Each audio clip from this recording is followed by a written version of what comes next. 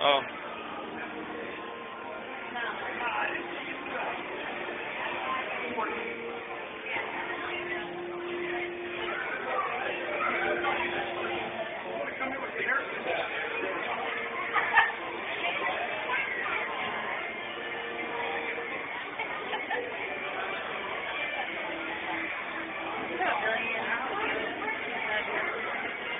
No, I don't actually.